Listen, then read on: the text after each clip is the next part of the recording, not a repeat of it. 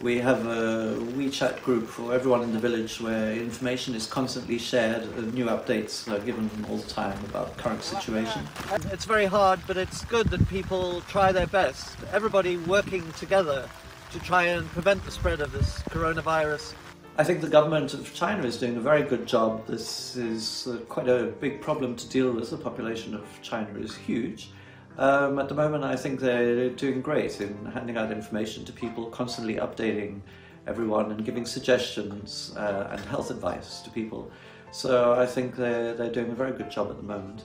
This is obviously going to have a very big negative impact on business and tourism in China this year. But I think things tend to rebound very quickly. So all the best. Good luck to everyone.